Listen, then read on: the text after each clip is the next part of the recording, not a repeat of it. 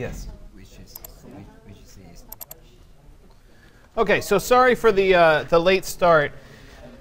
We're going to work today to actually put in a cloudy sky backdrop as part of our, our file. So this is the first time that we'll actually get photorealistic backgrounds. And so last class we did it where we had the clear sky background where it put in the, the bluish to, to almost orange halo.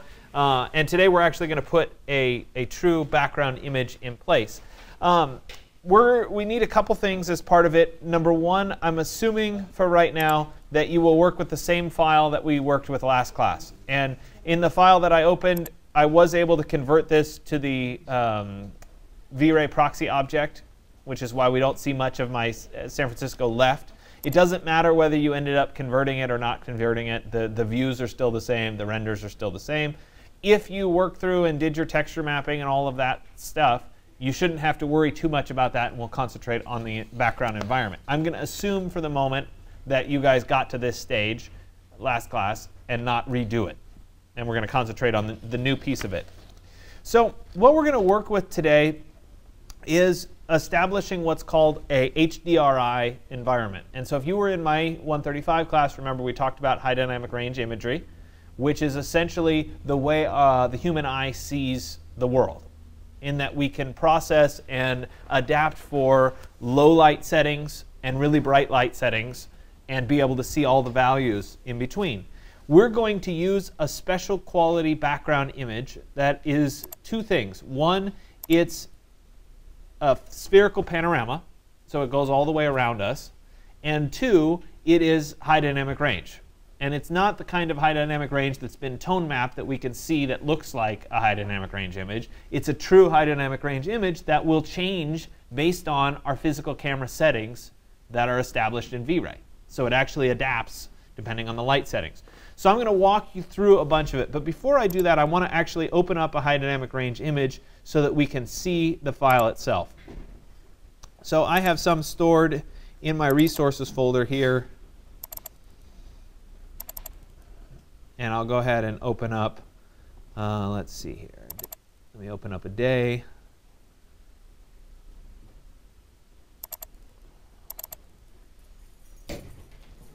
And these files are high dynamic range files.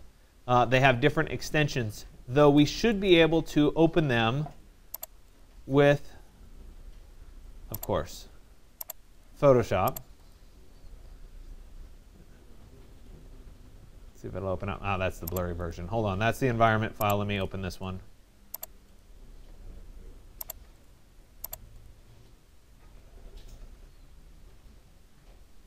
All right, so there it is.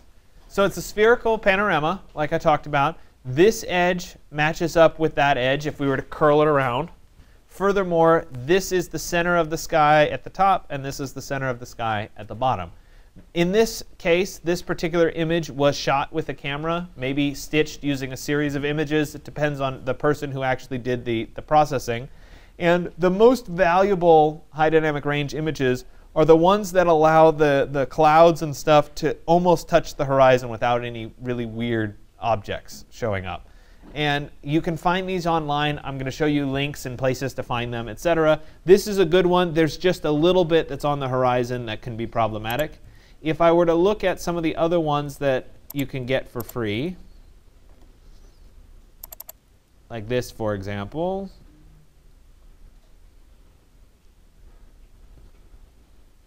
Hold on, I have to make sure I get the right one here. There.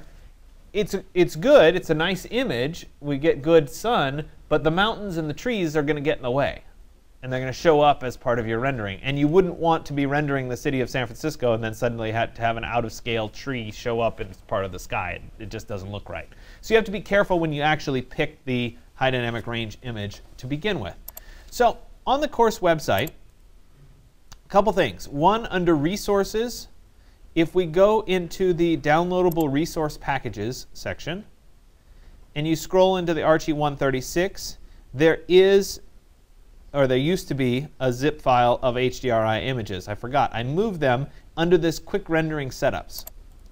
So if we click there, it takes us, oh, thanks. You gotta love it. Let's see if I fixed it over here. This kind of stuff drives you nuts. There we go. So go to tutorials, go to V-Ray, and go to quick rendering setups. The rest of the links appear to be broken. I knew it was still here. And what I've done is I've, I've separated these into specific categories. So I have a basic day scene one. I have a basic day scene two. And you can see these little preview images that will let you kind of see what the clouds look like as part of it. Here's the next one there.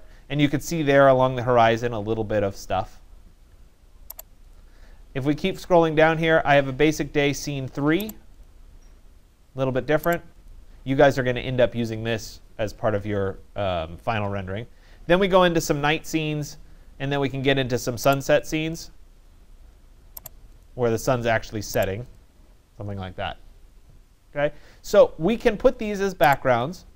These are uh, set up for you so that long term you won't have to do everything that we're doing today. And I make a note of this under uh, part three today, part one, step three. There's a note that says you're going to get the HDRI file from um, the, the quick rendering setups page. However, please, for today, ignore the fact that I already have put in what specific date and time you should set the sun for because we're going to manually figure out how to do it. Because the assumption is that you will find your own HDRI image from somewhere and want to use it, in which case you'll have to set up these files yourself. Okay, so uh, for this first one, this basic day scene one, we're going to want to download the, um, the files, the HDRI files for this. I have a click link here that will download the zip files. Furthermore, I have a link to where you can actually get them online if you're not logged in here. And this website actually has a really large number of HDRI files, some of which they want you to pay for, some of which they don't. So you can, you can browse around and see those. Obviously, I've cherry picked a few of the good ones. In rare cases, I don't have um, a direct link. I think most of these have a direct link. But sometimes you'll actually have to click based on the um, distribution rights. You'll have to click and actually get it yourself. I put the link there. You have to go get it. I can't give it to you. Anyway, so for right now, um, I'm going to do this free02 file. If I click on it, it will download as a zip file. It'll take a little bit of time to download. And I'm going to then use those files. So once this downloads here, actually I probably already have it on my flash drive. Um, it's this one. We're going to look at what information is contained within this file. So I have a couple things. I have two HDR files. There's one and there's two. One is underscore env. That's the environment file. And the other one is underscore ref. So if I were to open the env file, we'd get this, which doesn't look like a whole lot. This is the light file. So remember we talked about the background and the, um, the GI, the global illumination. If I go in here, I'll show you here. Under environment, we had two things. We had the skylight, or the GI, the global illumination value, and we also had a background value. This ENV file right here represents the reflected light. Reflected light is not a sharp cast. It's something that's a little bit modeled. So they give us a blurred version of the background image that gives us general light, GI. We also get a file. In this case, it's called REF. It could be called uh, background BG. It depends. And that's the sharp version. So here we are with the sharp version. We see the clouds. We see the sun as part of this and we see the, the general context. The best HDRIs tend to be shot on a very flat level surface somewhere by the ocean because it's easier to get almost all of the horizon. So this is the file that I'm going to use. As I said before, there's more information here that says what our sun settings should be, what our camera setting should be, etc. Furthermore, there's a VisOpt file that will preload all the settings for you, so you don't even have to do it. We'll get to that in a little bit. But for today's exercise, I want you to manually have to figure it out. So we're going to go ahead and in our scene, we're going to load up these two things. First off, in this scene, I've already established a sun. You guys remember I had an environment, I had a sun. It's right here as a directional light that's been established. I'm going to leave that in place and on. I'm also going to go into my V-Ray options and under my GI skylight and under my background, I'm going to change the map. So let's start with GI skylight. I'll click on the M and I'm going to change, instead of using a TexSky, which is what I used last time, I'm going to pick, once again, a TexBitmap because I have an image file for this. Then I need to go find on my flash drive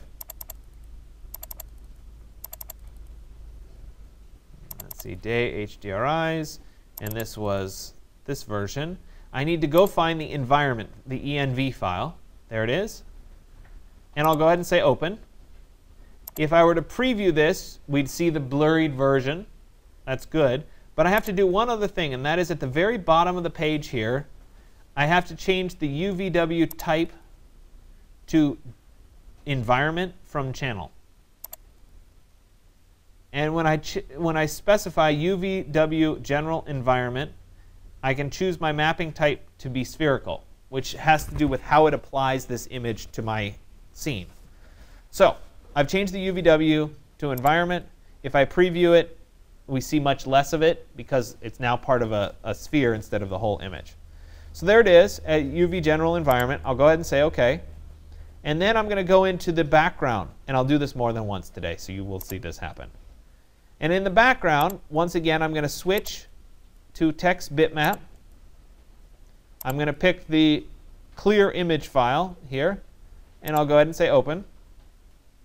And once again, I'll scroll down to the bottom and change from the UVW type channel to UVW general environment. And make sure that the mapping type is set as spherical.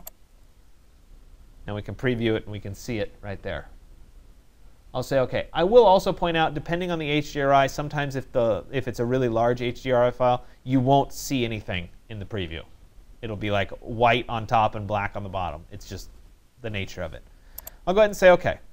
So now I have a GI that's specified as an HDRI and a reflection or a background that's specified as an HDRI. So I have those two things put together. And if I were to do a rendering, we would get, I should have made this smaller.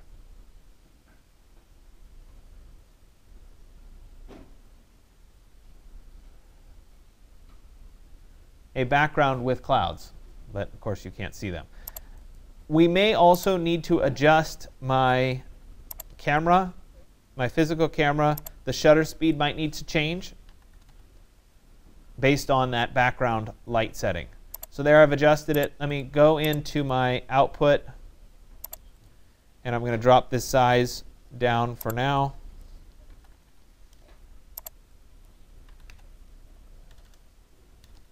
just so that you guys can see the render a little bit faster.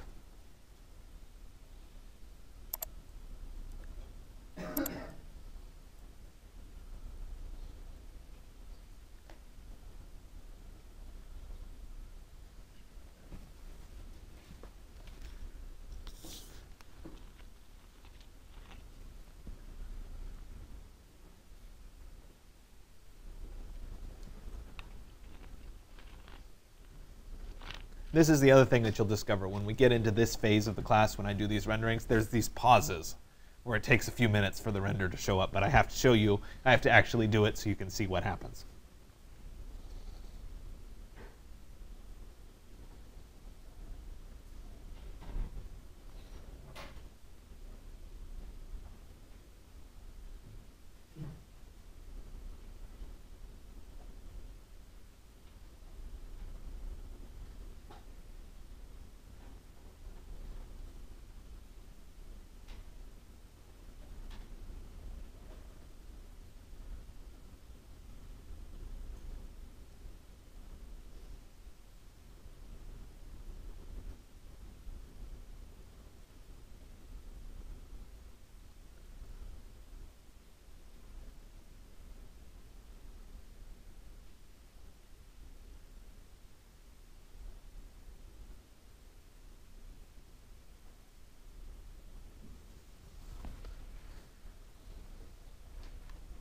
Okay, so there's still some adjustments that I need to make in order to, to have the sky appear correct. And I'll show you where those adjustments are. But you can already see that the clouds are appearing in the sky, where before I had just the plain, the plain sky. So I'll still make a few adjustments, and I'll show you where those adjustments are going to be. But I at least wanted to point out that it's now rendering with the sky as a background. So from here, I need to make a few more adjustments. Number one, the sun doesn't necessarily correspond to the background image. So we opened this image, and the sun here is pretty high in the sky. I would guess if I had to, to interpret this, that this was shot somewhere 1 or 2 in the afternoon, something like that. Where my rendering has a sun that's much lower on the horizon. So I need some way of matching up my sun to the HDRI background. Now, if you went out and took your own HDRI background, let's say you went to a, a, site, you were working on your 220 project, you went out to that rural site, you took an HDRI, you had a camera, you, you did this whole process, you would know exactly what time of day, what day of the year you shot the HDRI, so it would be easy to match up the sun. In our case, we don't know when this person shot this particular scene, where it was, or anything else. So we have to figure out a way of adapting. And so I'm going to go ahead and turn off my, uh, let me make a new sublayer to environment. I'm going to call this thing sphere, sphere. I'll make it current, and I'm going to turn off everything except for the sun. Then I'll go ahead and, while I'm on this sphere layer, I'm going to create an infinite plane. And of course, it shows up somewhere where I can't see it. There it is. Let me zoom selected on it. There we go. And then I'm going to create a round sphere. Anybody been to like, uh, I don't know, your grandma's house and gone into the garden and she has like a mirror ball sitting there? I don't know, maybe I'm being cliche by saying it's your grandma. Maybe it's yours. I don't know, I'm not trying to be mean. But have you ever seen those like garden ornament things? Okay. Have you ever looked in them? They reflect, right? They reflect the sky. So what we're going to do is we're going to stick one of those in our scene so we can see what's happening above us. So I'm going to go and create a sphere. And it really doesn't matter what size it is. I want that sphere to be up above the infinite plane. So I'm going to move that up above the infinite plane, about like that. Then I want to apply chrome, a very shiny material, to this object. So I'm going to go to my materials, I'm going to load a material. It is, Chrome already exists if you've downloaded the V-Ray materials. If I go into my materials, it's under metal. We're going to go to Chrome. And it's not blurry or matte, it's just the one that says plain Chrome. And so I'll load in Chrome, and I'm going to apply that Chrome to selection. So it's applied on that sphere. So now, if I were to render this, let me go back and set my rendering. If I were to render this, we get a really nifty reflection of the sky in our ball. We also get a reflection of the ground, the shadow, etc. Now notice the sun shows up reflected kind of over here, and my shadow is going the, the different direction. So I can tell instantly that these aren't matching up. It's usually a little bit easier to see it if we look at it in the top view instead. So let me zoom out, and we'll do a rendering straight down in the top view. Let me center it a little bit more so we can see it. There we go.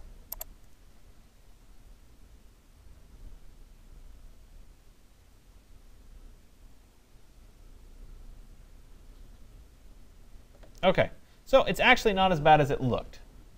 So there's my sun, which needs to be directly opposite where my shadow is. But the shadow is pretty long rather than being short. So what I'm going to do now is I'm going to make adjustments to this background HDRI, or I'm going to make adjustments to the sun itself, one or the other. And generally speaking, making adjustments to the background HDRI is a little bit easier. Unfortunately, in my case, I, I guessed last time and I ended up a little too close. So let me go back uh, and change the sun for just a second. And I'll talk you through this in a second, but I want to start with this so that's a little bit more off.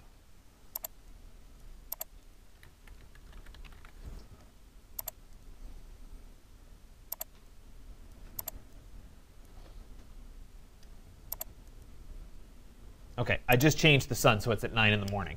Okay, so now if I were to render,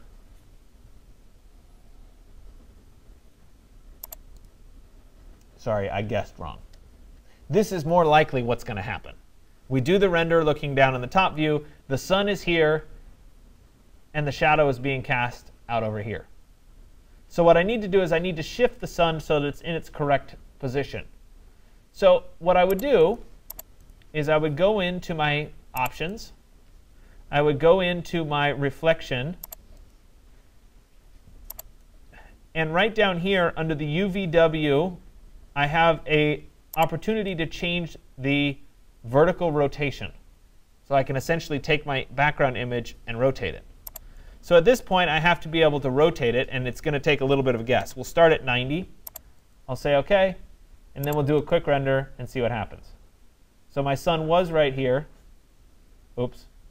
Supposed to be horizontal render, not vertical. Check that. Sorry. Horizontal render at 90. And I'll render. And so the sun was here. And you see that the sun is rotated by 90 degrees. So I have to keep going. And it's going to be more like, I would say, 230 or so. So let's say maybe 230. And we'll do a render.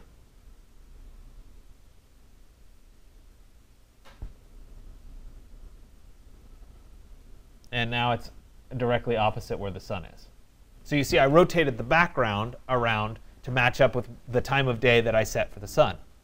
The alternative to this would be to look at the sun itself and match the shadow to the sun. Or excuse me, match the sun to the shadow. So in that case, that's how I backed out and created, if you go to the course website, these settings.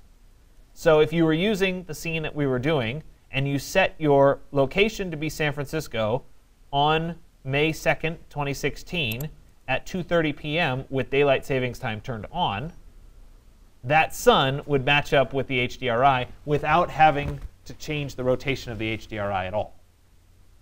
So there's just two different ways of doing it.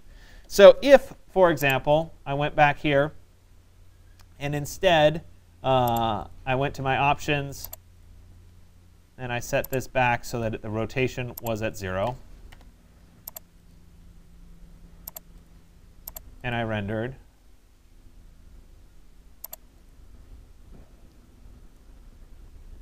We'd get the sun here. So the shadow has to go off in this direction. So in this case, I would go back to my sun, which is right there. I would go to Modify Sun. I'd have to uncheck, by the way, modify sun when you have the light selected. If you go to the properties menu, instead of texture mapping being available, you have a light settings available. And from there, you can click on modify sun, uncheck manual control, and you have to go back through the process of finding San Francisco. So there's San Francisco. Then we come up and we'd have to figure out my day and time. So we could go to, I said it was about 2.30 with daylight savings time. I'm jumping ahead. This would take some trial and error to get the, the appropriate time. I haven't adjusted the time of year, which is going to adjust how high the sun is in the sky. Um, it really should be a little bit later in the year. But I'll go ahead and say, OK, for right now, the sun changes. And I could then render again. Come on.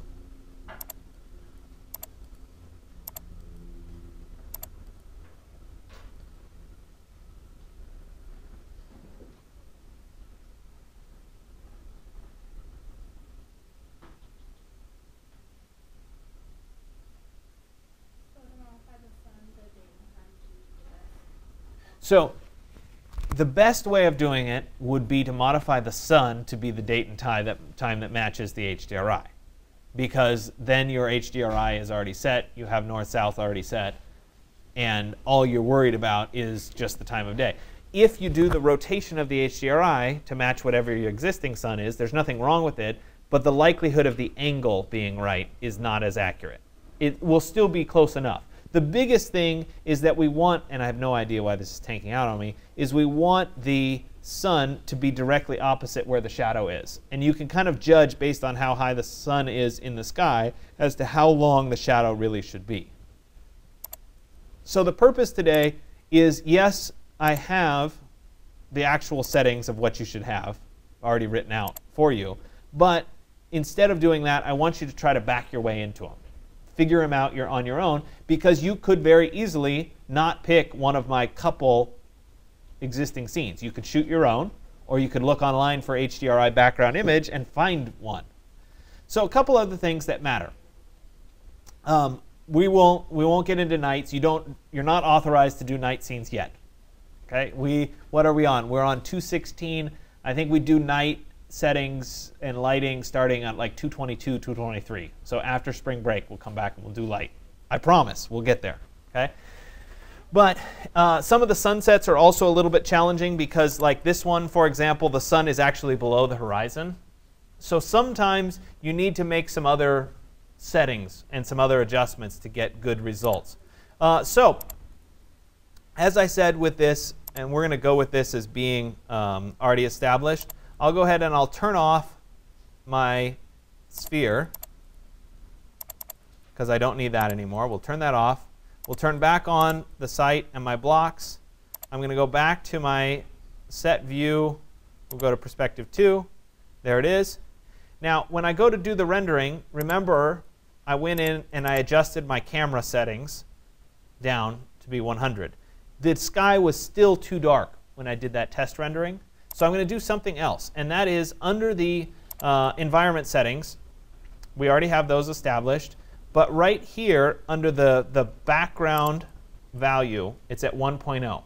If I make this number bigger, the background gets lighter as a whole. If I make that number smaller, the background gets darker. So I probably need to bump this up to maybe 3.0 just to lighten up the sky a little bit more. I'll go back here and manually override. We did this at 100, and we'll do this at maybe 300. And I'll go ahead and do another render.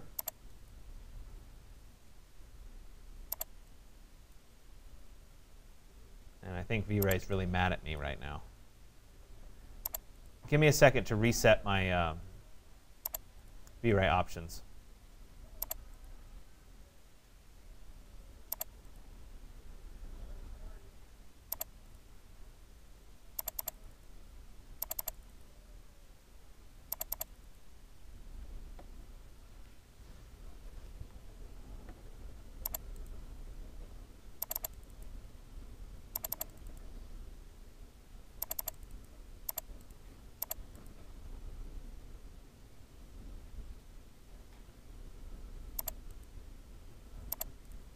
All right, so let me do a height of 300, and this should be 100. My camera setting was at 100, and I said that my environment setting here, uh, it looks like I had already done it at 6.0. I'm going to do 3.0. These were the settings that I had. Then I'll go ahead and render. Whoops, my width and height are wrong.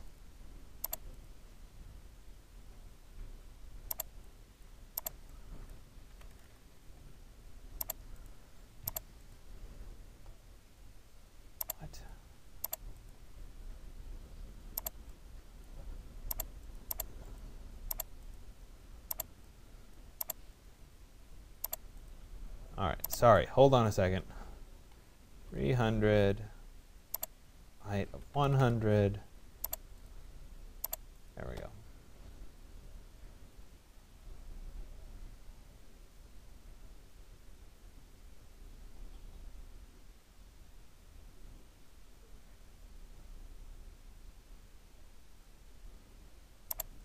Recognize another mistake. When I reset it, I lost the maps know where to find those, so let me reload those really quick.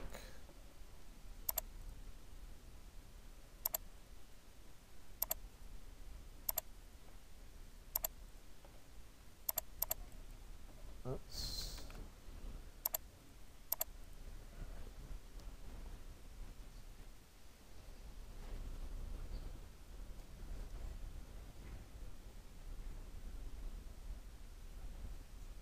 You can already tell in the initial stages of this rendering that the sky is much, much lighter.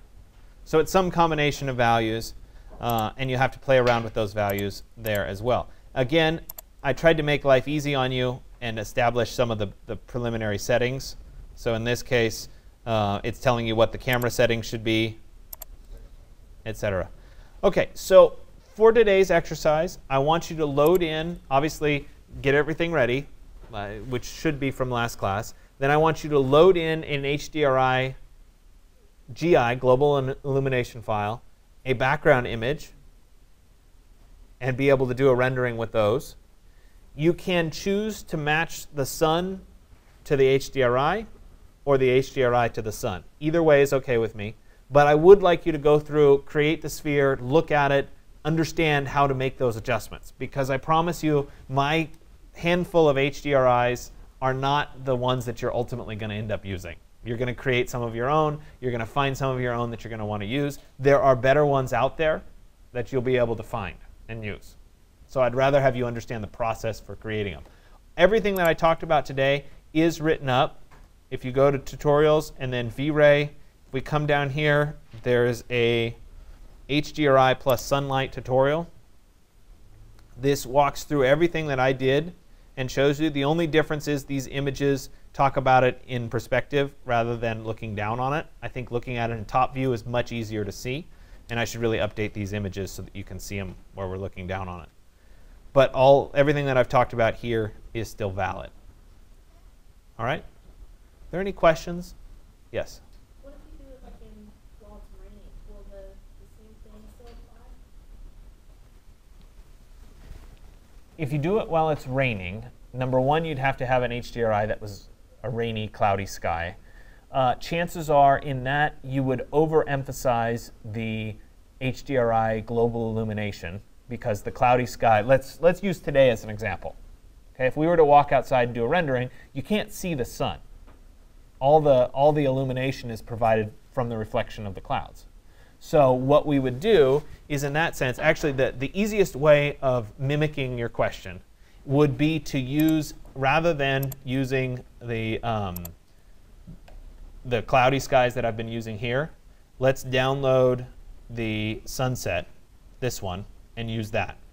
So if we go here, so here's your example, okay? So the sunset scene here, it's available for free from this website. I can't legally give it to you, so you have to go there and you have to purchase it for zero which you can do, but you have to do it yourself. I can't do it for you. So I already have this one that's available. It's on my flash drive because I already went through this process of purchasing it. So let me go ahead and load that into my scene. So I'll go into my options. I'm going to go into my reflection or background. I'm going to go find that. I have it under sunset. I don't remember which one it was. Yeah, it's this one. And I'm going to load in in this case, this was the reference file, and that's the environment file. So I'll load in the reference file for the background. We can see it, or in this case, we can't see it. I told you some of them wouldn't preview correctly. Then I need to load in the global illumination value, which was, oops, wrong one, which was this one, the environment, the blurry version and I'll load that one in as well, and we'll say OK. But in this context, the sun didn't exist. It's below the horizon. So I would need to go in and I would need to turn off my sun. So I have no, I no longer have a sun, but I still need enough light to resemble this particular scene. So what I'm going to do is under the GI skylight value, and this would work for your rainy day situation as well, I'm going to change the value of this skylight to be much, much higher. And so in this case, I might start at maybe 10. 10 times the light coming from reflection because there is no sun. I also might have to go in and adjust my camera to have a little bit longer exposure. So we'll start it at 100 and we'll see what happens. So I'll go ahead and turn this off and then we'll go ahead and render and we'll take a look.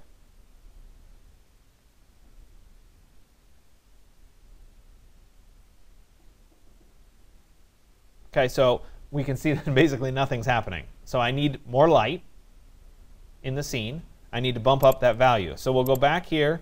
We'll go to my environment, and let's try this at maybe 50. Then we'll go ahead and render again.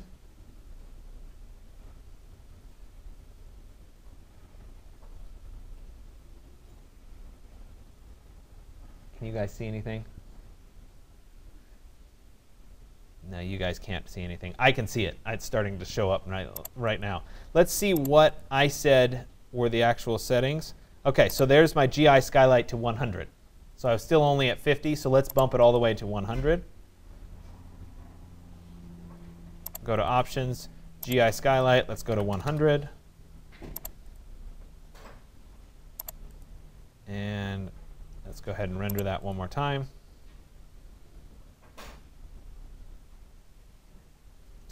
So it is rendering, it is lighter there, it's harder for you guys to see. The fundamental problem here is the direction of my view is looking opposite of the sunset.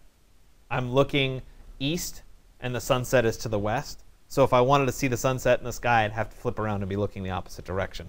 So it's not the best example. If I switched back into, uh, if I turned off the site and the environment and I turned on the sphere and I reset my view be like this. And it's still too, it, it's there. Let me go ahead and I'll point out something else. So the other factor in this is when you get into these scenes, I told you that I already have this visopt file. This preloads all the settings. Looks like my shutter speed was at 50. So there's other settings that I've done. The visopt will load those settings. So if I download this and save it, I can go to my VRay file here, and I can go right here to that little folder with the arrow, and it'll let me go find that visopt file. So I'll go into Sunset, and I'll open up the visopt file, which of course is conveniently not there. Give me a second.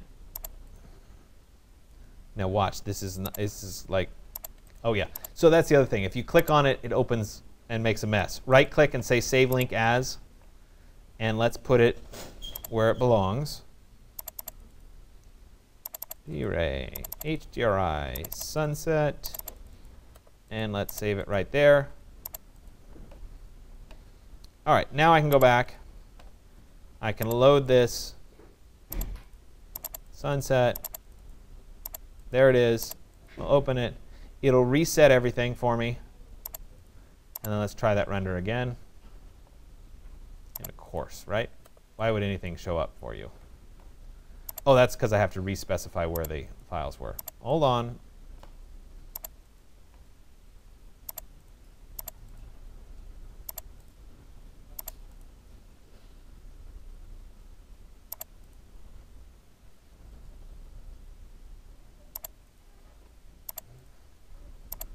All right, one more time. Render.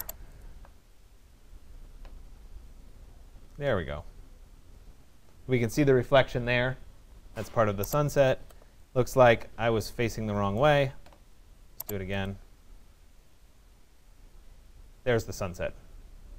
So this is achieved without a sun, but with a bumped up background global illumination. So in your example, which was a great question of how would you do it if it was raining, you would take that background that was the cloudy sky that was the rain, and you would bump up the reflected value from that. In this case, with the sunset, the sun's not up. We bump up the reflected value and can get the sunset. So now that that's established, I could turn back on my building site. Let's go back to perspective 1. Let's give it a render and see if we can get the background as part of this.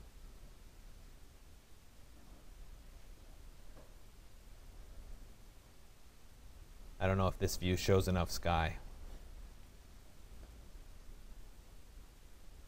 No, we're just going to get reflected value. Hold on a second. Let me switch to view 2. Let me adjust my output.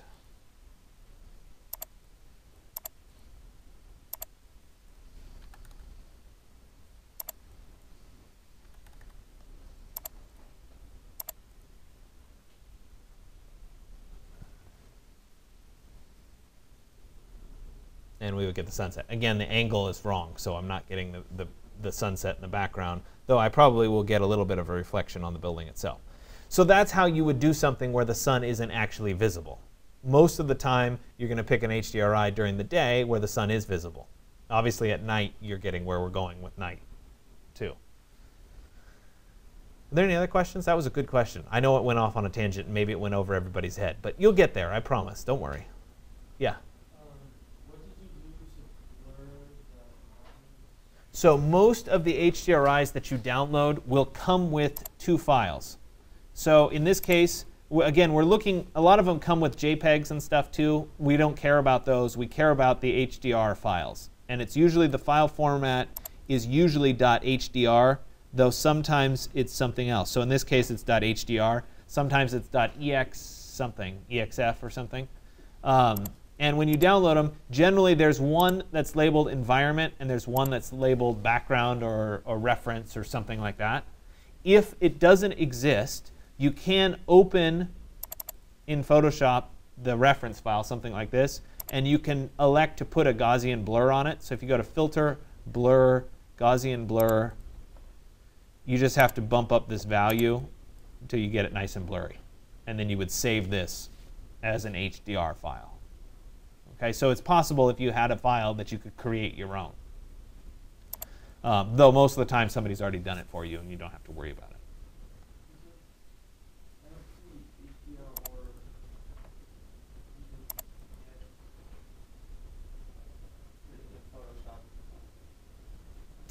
Uh, you mean if you created it? Yeah. Sorry, it's it's been a while since I've done this, so bear with me for a second. Um, filter, blur, Gaussian blur. Let's bump this up a little bit. There. Say OK. File, save as. It's called Radiance. It'll be listed from the list. At least it is here. If it's not listed there, I can come over and we can try to find it.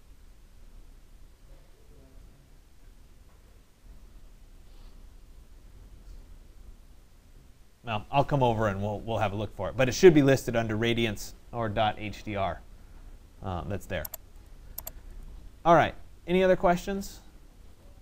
No? Remember that this is a precursor for your assignment 203, which is coming. You're going to do this and you're going to do renderings. I'm expecting HDRI background and all that sort of thing. Um, so go back and, and review that. If you have extra time today, it wouldn't be a bad idea to start on that. Okay? We will continue with it as well. The other thing that you guys are going to get is your grade sheets. Okay? And I apologize, in this class it's really hard because you, you don't do anything for so long. And so you're just kind of floating out there. Um, couple comments about the grade sheets. If you were in one of my 135 classes, you're very familiar with how the grade sheets work, so I'm not going to go over it for everybody. If you were not in one of my 135 classes, I'm happy to sit with you and talk through what the grade sheets mean and what's happening.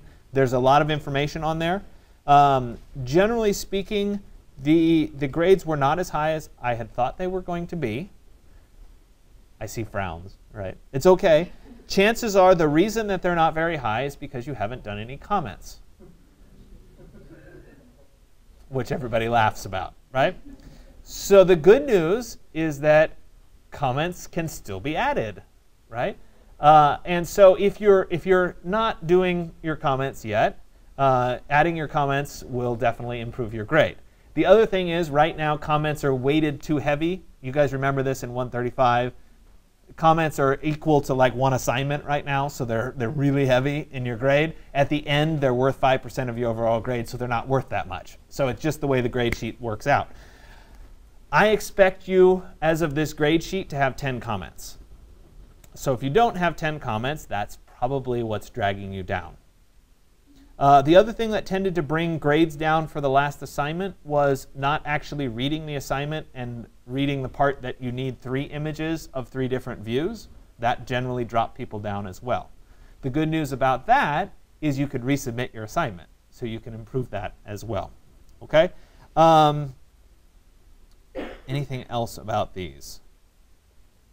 Attendance if you haven't been here or if you've been late, that counts against you, which would drop down your, your, um, your overall participation grade part of the class. the best thing that you can do there is show up to class and life will be better. Most of you haven't had a problem with it, but for those of you that have been gone a lot, that can, that can affect your grade a little bit as well. Okay, so if you have questions on the grade sheets or what they mean, just let me know and we'll sit and we'll talk through it. Uh, as is the case, or as was the case in 135, if you're missing exercises because you forgot to turn them in or you forgot to post them or something along those lines, no big deal, just post them. The other thing that happens is sometimes you turn something in and I missed it. It happens. I'm human. I make mistakes. Just come tell me and we'll fix the problem. That's part of why you get the grade sheets because it, you audit what I do and make sure it's accurate. Okay? Any other questions? Probably not. All right.